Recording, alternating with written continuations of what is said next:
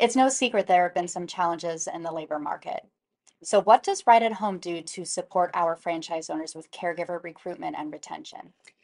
Yeah, so caregiver and recruitment and retention, that is something that owners have to constantly be thinking about. We always say you're constantly hiring caregivers and, and also constantly looking for clients that can benefit from the services. But when you think about our business model, you have to have caregivers in order to have the business, right? So it's really important that as a franchise owner, that is always something top of mind. And and we have an entire center of excellence that's focused around caregiver recruitment, intention, and that employee experience.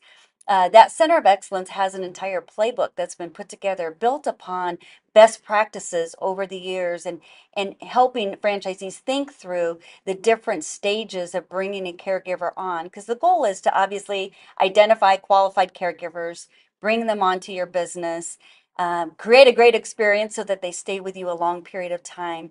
But there's things that you've got to think about. So we've taken that entire process and broke it down into micro experiences and really will help franchisees and or their staff that's focused on caregiver recruitment think about each step along the way and how can you make that the best experience you can for that particular caregiver. And so one a key thing that is um, really important with that overall experience is recognition. So we talk a lot about, and I love celebrating. We have a, a program called Caregiver of the Year, where at our annual meeting we will celebrate eight regional winners and then a national winner. Um, and the stories of the all the caregivers that get nominated is so wonderful, and it really is such a a great time and we have things we call mission moments as well that we do on a regular basis where we're just highlighting a caregiver that's going above and beyond or just the impact that they're having on a person's life.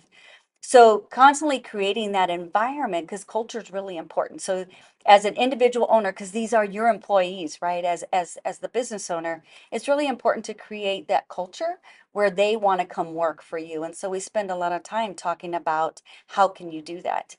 And another key element is really providing good training opportunities for those caregivers. So, an individual who is a caregiver, you know, they want to have an opportunity to progress in, in learning new things. And so, we also provide a wealth of training opportunities that the franchise owners can tap into and use with their staff to maybe provide a progression in the caregiver's career path as they move through and, and continue to work with that local office.